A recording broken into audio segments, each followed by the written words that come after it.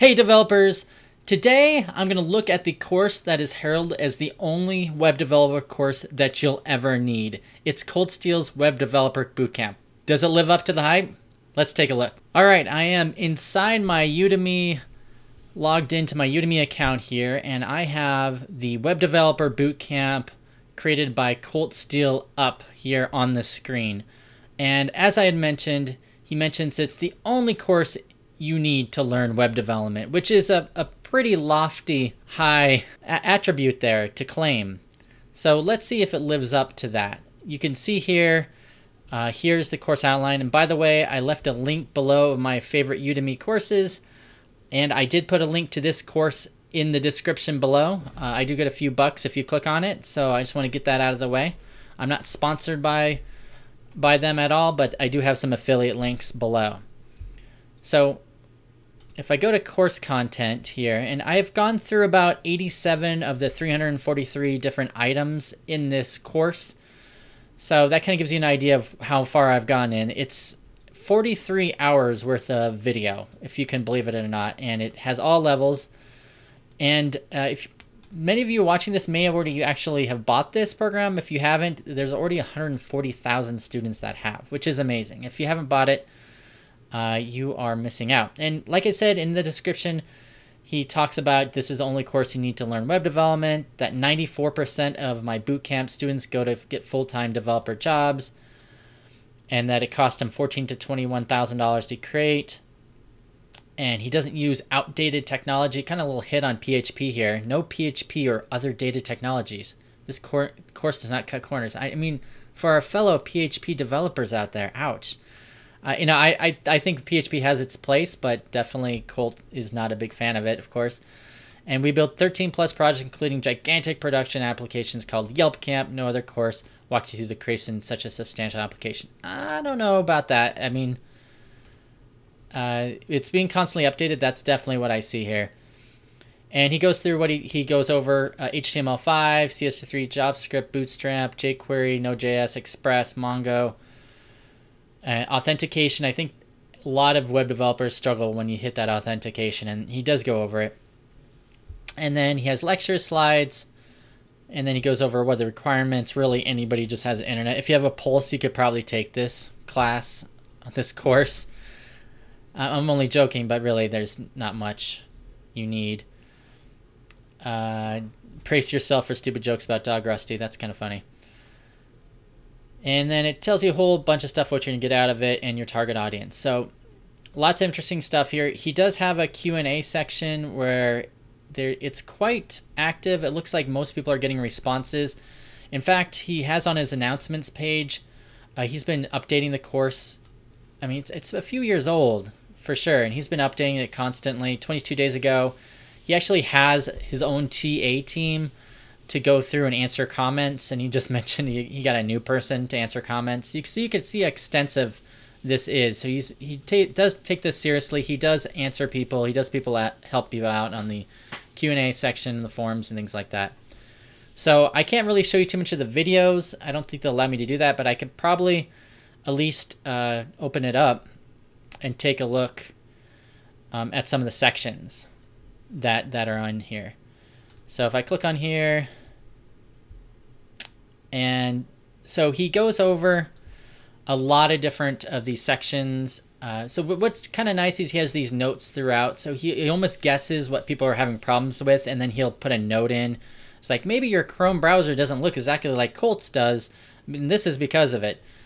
And then here's just a welcome to how you start it. And he talks about using CodePen, JSBins, gists.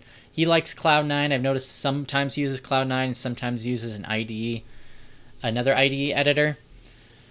Uh, so when he starts off, really the first, I would say, the intermediate introduction HTML, it's really basic stuff as you expect. He just teaches it in quick, usually about five, two to five minutes each videos, which is perfect for this type of content.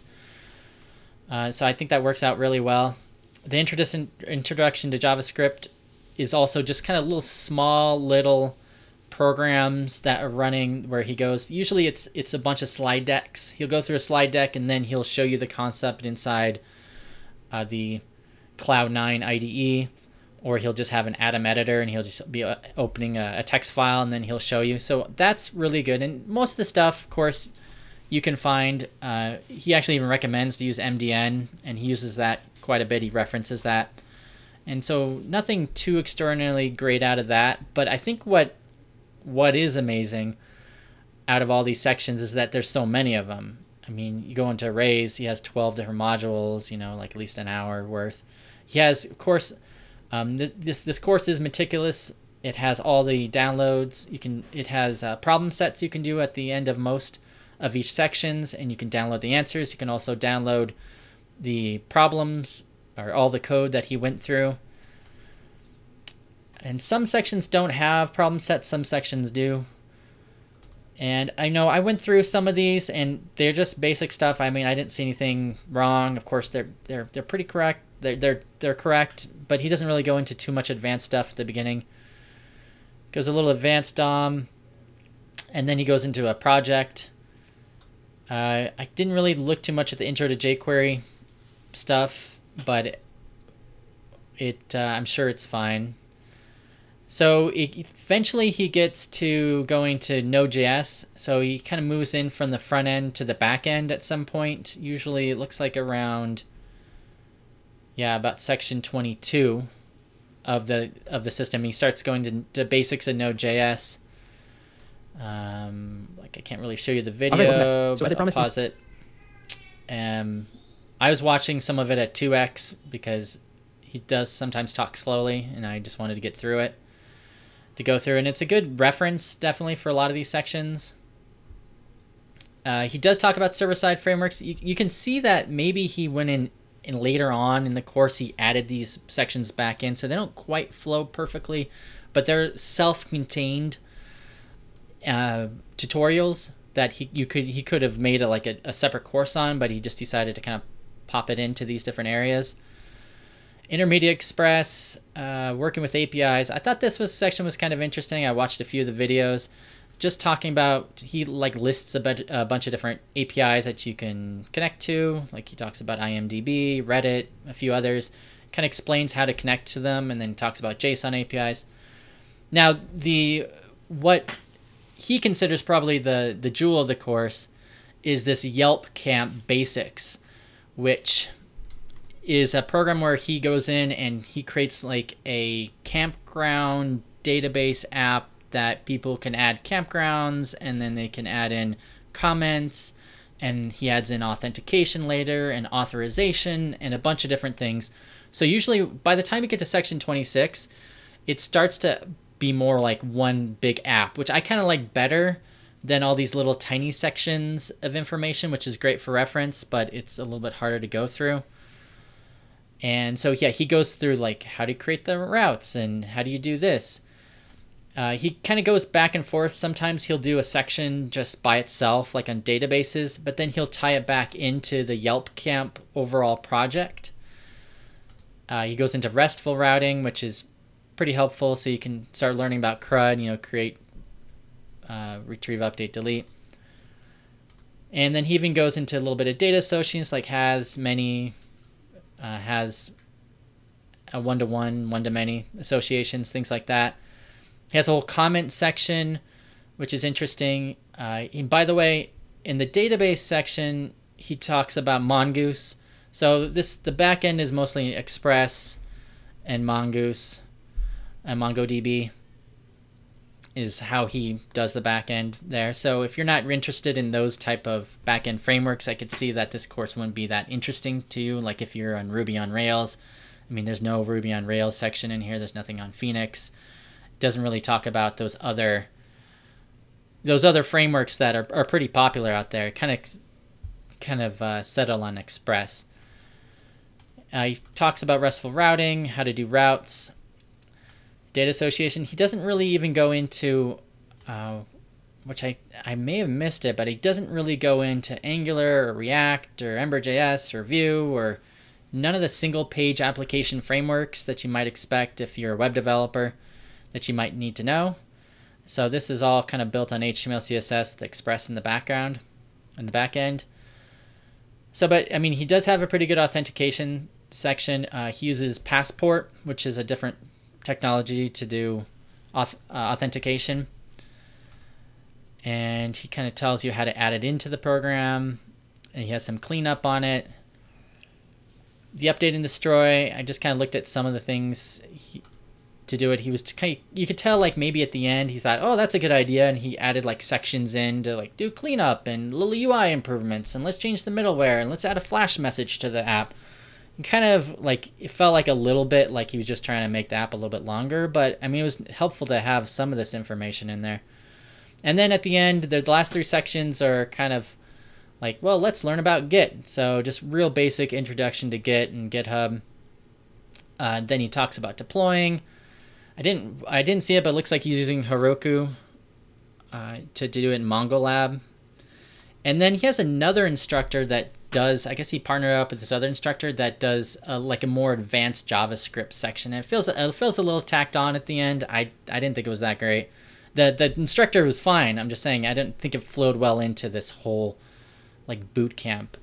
I guess it sort of does, but I mean it goes into some of the more the like intermediate JavaScript stuff that you see, you might be asked on an interview to like, what's the JavaScript apply or bind, and then he goes into object-oriented programming with a new keyboard keyword and prototypes, and so th- this section felt felt a little tacked on. I think there's whole courses that are are better if you want a little bit more intermediate JavaScript, but it's nice that it's included, I guess.